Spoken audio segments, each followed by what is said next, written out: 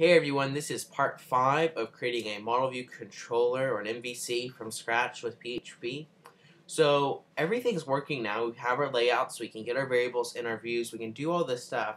But one of the things that our framework's really missing is that in model view controllers, generally what happens is that when you have a controller, so in our case welcome controller, you could normally access it by going to something like welcome and that would load the welcome and index the welcome controller with the index action. So what we want to do is we want to add this this functionality into our own framework. We want to be able to go to welcome and get our welcome controller. Uh, because right now we're limited to having to go to our routes and we're, we have to go and specify every single thing. We have to say map, get, when you go to welcome, we want to load the welcome index. You, it just would just get really old trying to type all that in every single time. So what we're going to do here is we're going to go and we're going to change the way our, our thing works, or our framework works. So uh, we're going to go and to Sammy, and Sammy has this function called run.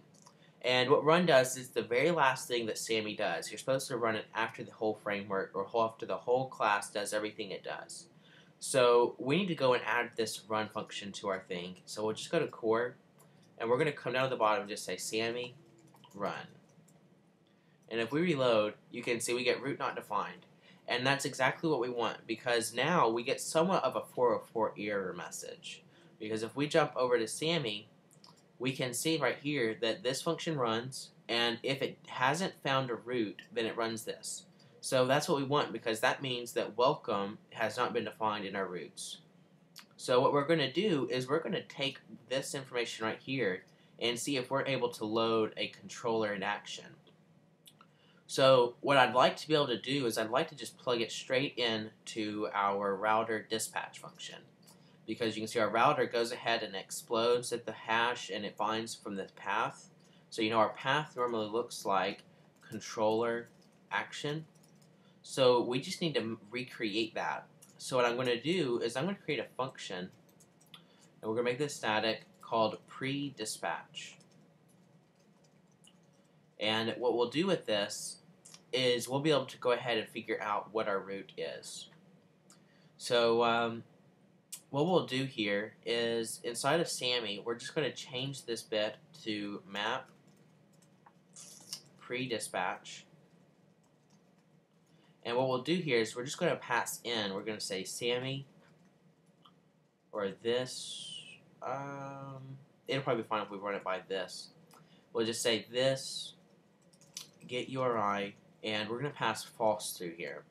So what this does is if I go to find this get URI function, we don't want the prefix slash, and it's going to get this whole URL for us. So uh, pre-dispatch, we're passing the whole URL to the function. And if we go into our router and we get our path up here, or our URI, and we echo out our URI, um, okay, we don't, we can't do that. So what we'll do instead is we're just going to say Sammy equals Sammy instance, and uh, we're just going to pass Sammy right here. Welcome. Okay, so this is the way that guy has created Sammy. I mean, it's brilliant coding. Um, basically, this one instance gets changed every single time you run any of these functions because they're always running off this instance variable. And it's just kind of complicated. I don't want to try to go explain it, but I'm. It's very impressive what he's done.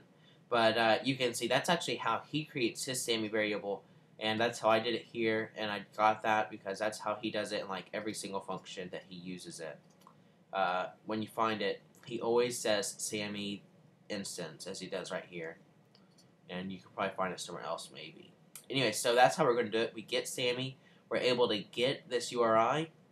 So uh, now we actually know what the URL is, and this is changing, so it's actually coming from our router, so we're done with this file.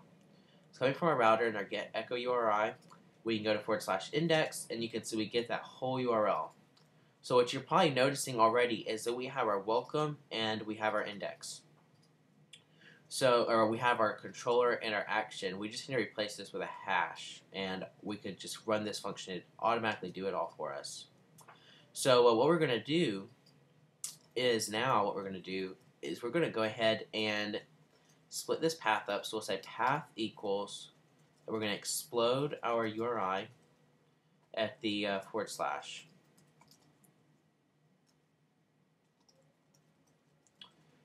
So if we go ahead and debug our path, you can see that we get our welcome and our index. So by default, we want to make it where it automatically loads this index action. So let's go ahead and kind of program it for that specifically.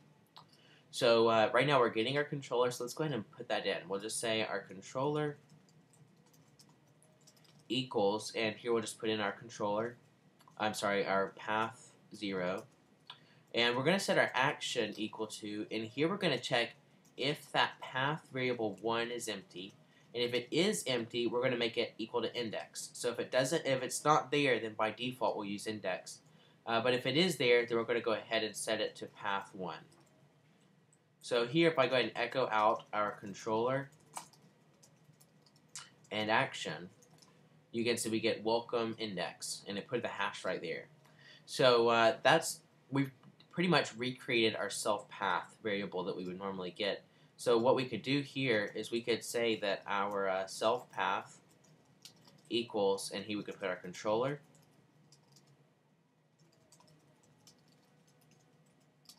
and action. And uh, if we said self dispatch, and we passed in the parameter for HTML up here because it needs that format, and reload, you can see that we loaded our welcome index action. So that's working. I mean, that's it's not too hard to get up and running with this. Uh, but the thing that we want to do is we want to be able to set it up where you could go to welcome index.html and get a different view here, or the get the the JSON format. Uh, but you can see here that it's trying to load an index.html action. So what we're going to do here is we're going to say if not empty, or if, if the action, let's do it like this. We'll say if preg match, and what we're going to look for is, this is a regular expression, we're going to look for word characters, but then we're going to look for, at the very end of it, a dot with some more word characters. Which actually, we'll put the dot here, and uh, we'll make it where we get those word characters longer. Okay, and we're going to look for that in the action, and we'll just put our matches in a variable. So let's debug the matches and see if we got anything. And you can see that um, that's fine. We're just looking for a word character. You can see that, oh, I didn't get what I wanted. So I have to make this longer. No. We don't need that word character, realistically. Um, but for some reason, it didn't get me... Oh, I need to put it in here. Okay. So essentially what we've done here is in our action, we're going ahead and looking and seeing, do we find .html in here? And if we do, then what we're going to do is we're going to go ahead and first of all, we're going to say action equals string replace. And we're going to replace the matches 0 to blank inside of our action. So what that's going to do is it's going to remove the .html from it. And that would change if we had JSON here. It would change if we had just JS. I mean, it's going to find anything here. So we're going to go back to HTML. And what we're going to do is we're going to say that our format equals our matches 1 because you can see the 1 is the HTML without the dot and we're just going to pass our format in here so reload and that's working but the thing is if we take off that .html then the format variable doesn't exist so what we'll do is we'll just come to the top and we'll say our format equals um, HTML by default and it only changes if this is found. So we'll reload, and you can see this is working. We can come back. Now, it could be nice if we could just say welcome.html right here, um, but I don't really want to do that. I don't really want it to, um, oh, I don't really want it to try to find the, the format right here. So, uh, what we'll probably do in the next video is um, we'll probably try to set it up so that we can come into our routes and we can do stuff like this. We can say like map resources or resource and we can just put in our welcome um, our welcome controller. And the reason for that would be is because if we go to Ruby or Rails 3, um, oh, it would be like routes. We should hopefully find the guide right here. Rails does this thing called resources. So, uh, singular resources right here.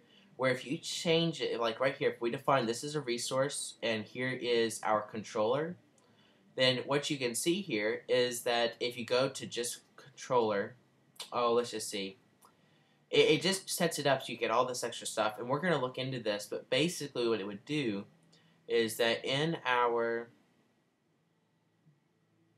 what we would try to set it up, if I can go back to it, uh, right here, what we would do is if we set this up as welcome, we would come in here and we would say that we're going to have a new function called new, and this is when when creating a new um, oh what do you call it? Just this is where creating a new database um, record, and we create another function. We'd say create, and actually create the record and then what we do is um, when we go to edit, then show the edit form. But when you actually um, post to it, or put, that's when you use the put method, then uh, we'd actually use the update function and um, update the record. And the last one would be when you go to delete, it would run the function destroy and delete a record. So you can see when we what I want to have it set up was we create a resource and it automatically dynamically makes these work. It sets it up where when you go to welcome forward slash new that we can start creating a new record. And when you actually post a form to just welcome forward slash welcome, it'll automatically run this function. So it'll basically recreate what Rails does that's just so useful because it'll make all of these run pretty effortlessly. So uh, thanks for watching this video. Hopefully I haven't confused you with all of this because it, it took me a while to get my head wrapped around it and I'm not sure that I've explained it very well. But uh, hopefully you'll actually kind of learn from this and find it pretty useful and hopefully you'll kind of like what we're creating. So uh, thanks for watching this video and goodbye.